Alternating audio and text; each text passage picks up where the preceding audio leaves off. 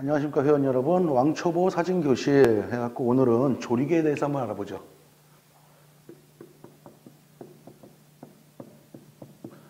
조리개. 자 그럼 조리개라는 건 무엇이냐? 영어로 아파처라 그러죠 아파처. 아이고 여러분들 아까도 제가 그 전에 셔터 얘기를 할 때 셔터하고 조리개는 귀가 뚫리도록 귀가 아주 그냥 막 신경질 날 정도 신경질 귀가 신경질 내나요? 그러니까 귀가 아프도록 들으셨던 내용이다. 왜? 그만큼 중요합니다. 사진에서 절대적인 중요도를 차지하고 있다는 얘기예요. 뭐 때문에 그렇죠? 빛의 양을 조절해 준다. 가장 큰 거죠. 노출. 노출을 조정해 준다. 자, 그 다음에 셔터를 알아봤고요. 오늘 조리개를 알아보는데요. 조리개를 알아본 다음에 그 다음에 뭘 해야 돼요? 셔터와 조리개를 어떻게 해서 쓸 것이냐. 이 부분도 알아봐야 되겠죠. 저는 참 성격이 급해. 왜 언제 할지도 모르는 그 강좌를 미리 얘기를 하냐 말이야.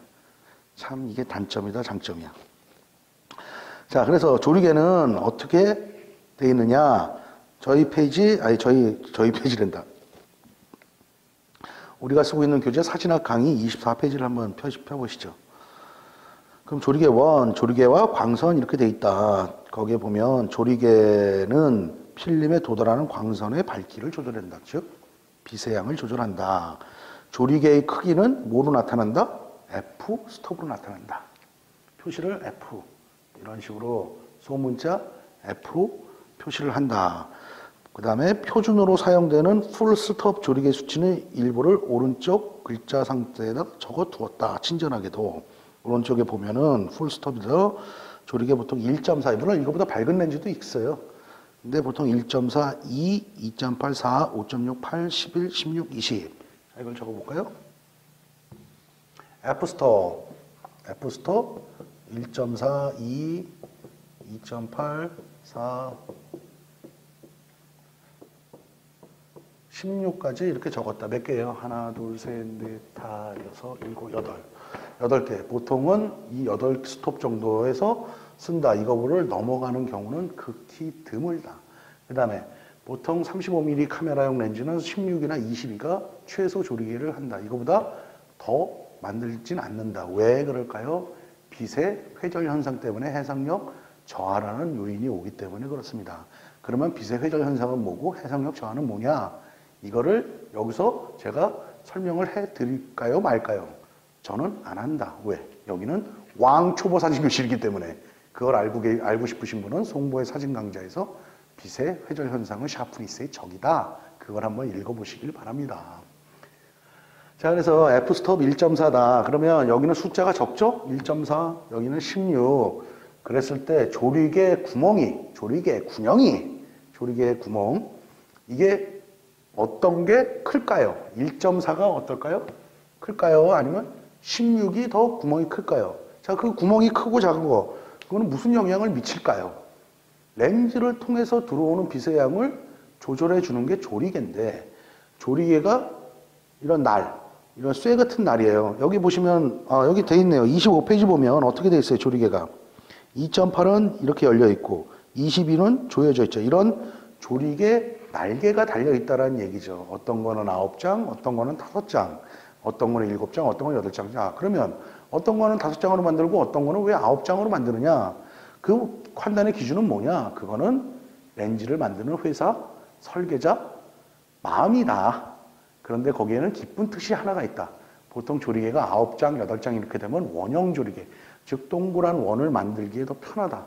그랬을 때 아웃 포커스 되는 그 이미지를 좀 더 이쁘게 만들어 줄 수가 있다. 여기까지만 제가 설명을 딱 해드립니다. 자, 그래서 여기 나왔듯이 조리개 1.4가 조리개 구멍이 가장 다 열려 있는 상태다. 그럼 빛이 많이 들어오겠죠? 16은 어떨까요? 16은 여기에서 날들로 조여져 갖고 조금만 열려 있는 상태다. 요게 16이다. 그럼 이것들은 이거보다 이거보다 이거보다 조금씩 조금씩 조금씩 더 닫히겠죠.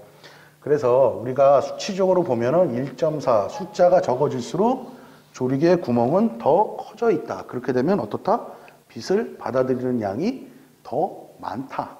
그래서 샷다와 마찬가지로 1.4보다는 2가 2배의 양을 받아들인다. 2.8이 2보다 2배 양, 1.4보다는 4배, 4는 2.8보다는 2배, 1.4보다는 몇 배? 8배의 빛의 양을 받아들인다요.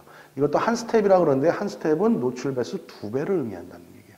그러면 두 제곱근으로 나가죠. 두 배, 네 배, 여덟 배, 열여섯 배, 서른두 배 이런 식의 빛의 양을 가져간다. 셔터 스피드도 마찬가지다. 그래서 조리개가 이렇게 됐다.